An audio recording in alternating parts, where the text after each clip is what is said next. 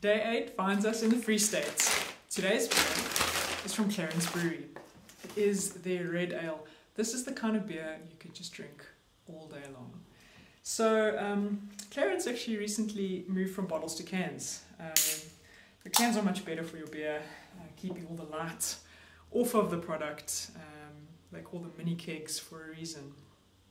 So, you can expect even better quality um, and more longevity from Clarens beers now that they're in cans. Look at that beautiful colour. What a perfect red ale. Uh, just looks delicious. Look at that wonderful head also.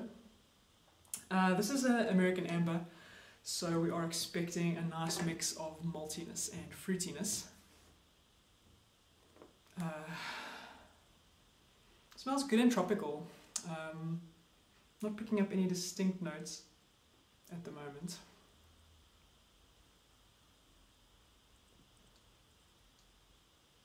Mm.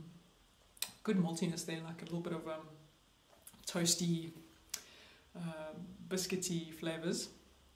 And then like a decent bit of uh, bitterness as well, slight like um, citrus flavors, and something sweeter as well, maybe like a, let's see,